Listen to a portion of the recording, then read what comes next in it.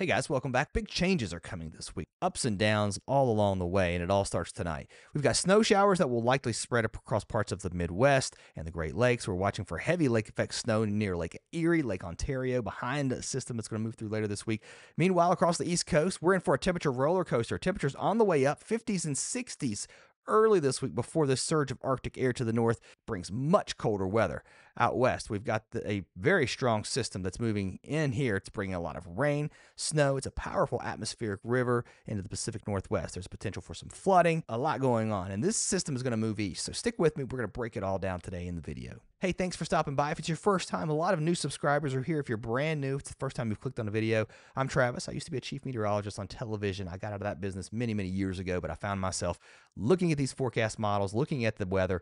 And if you like that kind of content, I hope you'll come back and you will subscribe. We've got this rain here that we're looking at as we head through Monday across parts of really the Mississippi Valley into the Ohio Valley. Our system exiting the northeast. And this right here will be our weather system that we're going to be talking about across the west that's going to eventually move east and cause some issues here. One thing we've seen here too, I want to back this up. Look how warm the ocean waters were here above average across the Pacific really last winter. This is why I think this winter is going to be significantly different. We've noticed some changes too. We've been talking about this area heading towards La Nina. That matters too, right? So when this water is warmer than average and it gets cold across North America, you create a decent temperature gradient here. That causes an active southern jet, at least your subtropical jet, that's put puts the storms into Southern California, into the Southwest, and we've not really seen that this year. Also across the deep South in Texas and Louisiana, Arkansas.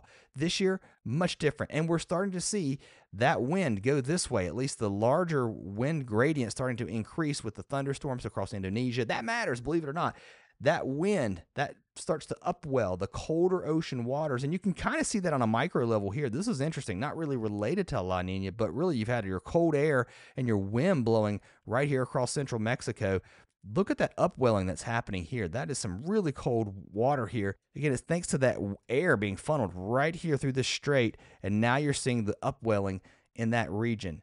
On a larger scale, that's kind of what El Nino and La Nina is.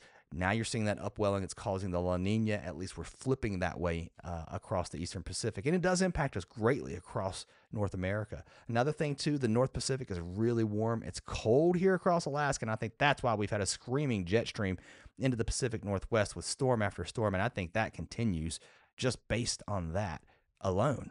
All right, here's what we're looking like across the, the next week or so. A huge trough starts to carve out in the east. That's going to really drop our temperatures down. And again, I think we stay stormy across the west with another trough slamming uh, into this region. Let's back up and take you through the week here, find where you are on the map. We're going to take it day by day. We've got a little bit of light snow and mixed precipitation on early Monday into the northeast, but that transitions over to rain, rain showers, and we are talking about rain all the way north. I mean, look at this right to the Hudson Bay. So a lot of warm air moving north ahead of this area of low pressure. Behind it, some light snow across northern Minnesota. That slips east as we head into the overnight into parts of Ontario, and the rain shifts into the southeast now. Our snow across the west starts to lighten up a little bit. We've still got it going into the Cascades, but it moves further to the east into parts of Montana, Wyoming, Idaho. And now we're watching this weak system that starts to slide off to the east through South Dakota, southern parts of Minnesota, even parts of Wisconsin. Our next big atmospheric river takes aim into the Pacific Northwest. It's going to put some heavy snow into the Cascades. The northern Cascades, we may actually mix with some rain here in the higher elevations with snow levels coming up, but boy, it's going to really pile up into British Columbia. Let's move east. We're starting to dry out. We're cooling down uh, into the northeast, but it's not going to be extremely cold behind this system that's moving through on Monday. We've got to really wait a couple of days before the real cold that's back up here moves south. Rain moving east, also some light snow here in and around the Great Lakes, some light snow too from the Arrowhead to the UP of Michigan here. That's the Arrowhead of Minnesota. That moves into parts of southern Ontario. Could bring a little bit of snow to Toronto and to Montreal. And now, as this moves east, low pressure develops here along the east coast the snow will likely start to pick up from upstate New York. I think it goes over to snow into parts of western Mass and then up into Vermont and New Hampshire heading into early Thursday morning. Still some time on this. And now we're watching this next system. That's the storm that's bringing the next round of heavy rain and snow I talked about just a moment ago up to British Columbia uh, and, and into Washington State. It starts to slip to the southeast. As it does so, it's going to bring a stripe of snow, I think, from Saskatchewan, Manitoba, North Dakota, Minnesota.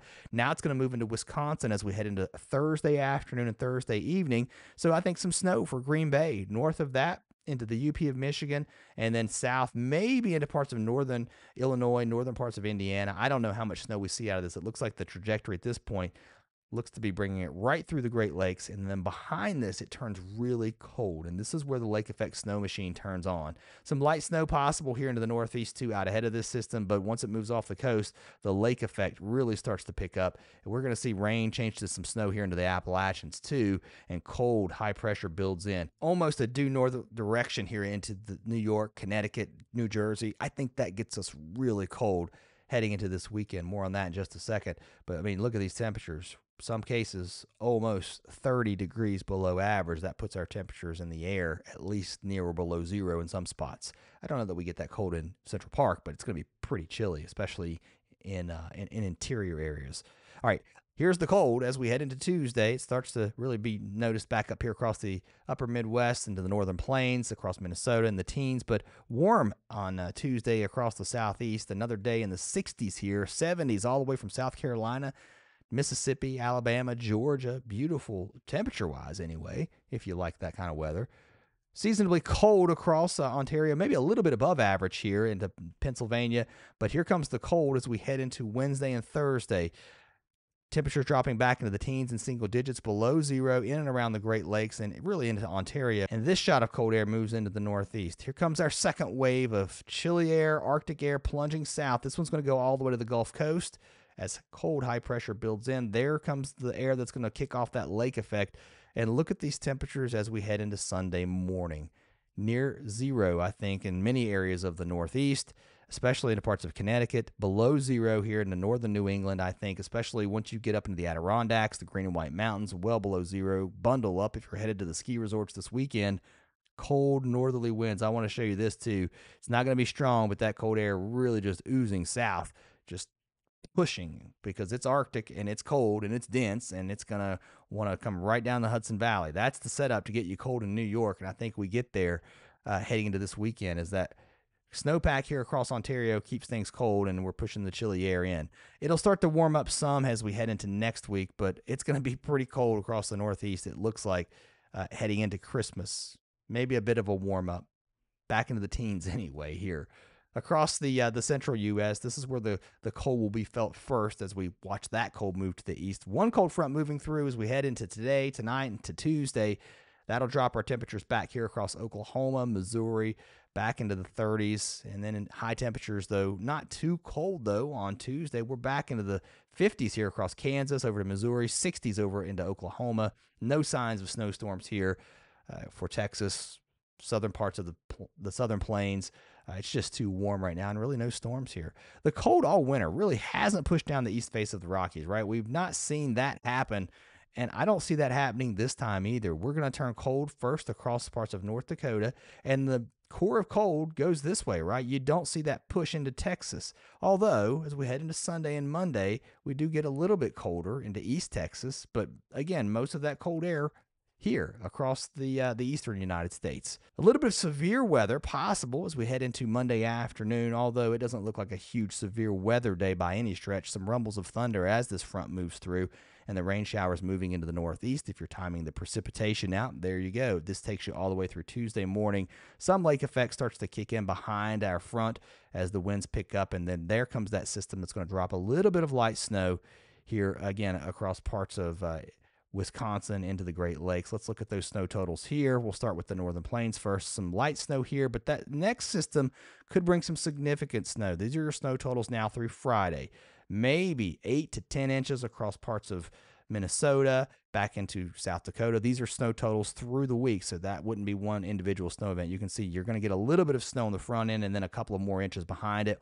That stretches all the way to the south and east. I think we get some snow into Minneapolis, St. Paul, and it pushes further to the east. Maybe not as much snow towards Duluth, Iowa. We're not going to see as much snow out of this. Further to the east, let's time some of this snow out. I'll slow it down and we'll take it sort of system by system.